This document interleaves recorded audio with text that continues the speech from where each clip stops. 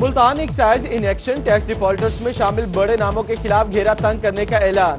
Defaulter list میں وزیر خارجہ شاہ محمود قریشی، سابق وزیر اعظم پاکستان یوسف رضا گیلانی، سابق گورنر پنجاب رفیق رجوانہ، تحریک انصاف کے M N A Aamir Dogar سمیت دیگر اہم نام شامل۔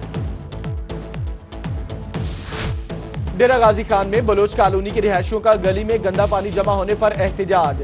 دو دن بعد بیٹے کی شادی کے ارمان لیے دلہے کا باپ بھی پریشان۔ کہتے ہیں، گندے پانی سے بیٹے کی بارات کیسے گزاروں؟ مظاہرین کا میونسپل کارپوریشن عملے پر رشوت طلب کرنے کا الزام۔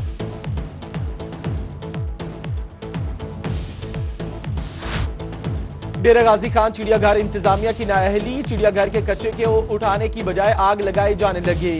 دھومے سے شہریوں کو پریشانی، زہریلا دھواں، جانوروں کی زندگی کے لیے بھی خطرہ، انتظامیہ خاموش۔ حکومت پنجاب کی جانب سے وال چاکنگ پر پابندی کے باوجود ملتان کے دور و دیوار پر وال چاکنگ کا سلسلہ جاری۔ ڈی سی آفس کے علاقے سمیت دیگر علاقوں میں وال چاکنگ سے شہر کی خوبصورتی مات پڑنے لگی۔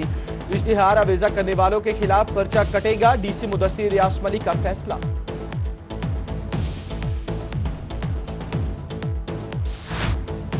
کانپور میں پٹواری کا انوکھا کارنامہ زندہ خاتون کو ریکارڈ میں مردہ ظاہر کر کے زمین سے محروم کر دیا۔ متاثرہ خاتون کا پٹواری کے خلاف احتجاج، وزیر اعلیٰ پنجاب سے نوٹس لینے کا مطالبہ۔ ملتان کے تھانہ سٹی کبیروالا میں کرپشن کا معاملہ ڈائریکٹر اینٹی کرپشن نے کبیروالا کے اے ایس آئی رفیق کے خلاف تحقیقات کا حکم دیا۔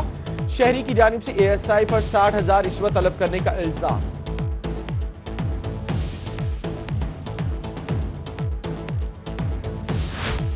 مشیر برائے زراعت سردار عبدالحی دستی کا وزیر اعلیٰ پنجاب سردار عثمان بزدار کو خط۔ مظفر گڑھ میں مار بچے کا اسپتال اور ورکرز ویلفیئر بورڈ بنانے کی استدا director health Sargodha division doctor Hussain Ahmed Madni کا میاں کا دورہ۔ ڈاکٹر احمد نے کہا کہ ڈی ایچ کیو کے ڈاکٹرز کی ہڑتال جلد ختم ہو جائے گی۔ دونوں فریقین کا موقف لے لیا گیا ہے۔ دونوں فریقین کو حکومتی فیصلہ منظور کرنا پڑے گا۔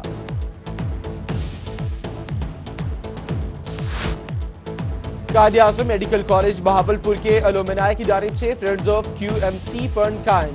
اندرون اور بیرون ممالک سے ڈاکٹرز نے خطی رقم جمع کروائی۔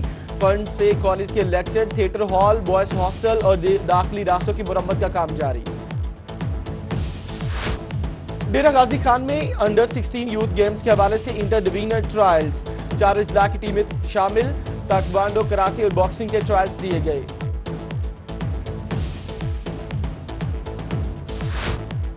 خواجہ فرید یونیورسٹی رحیم یار خان میں تقریب تقسیم انعامات ہنگامی صورتحال سے نمٹنے کی تربیتی ورکشاپ میں حصہ لینے والے طلبہ میں سرٹیفکیٹس اور شیلڈ تقسیم۔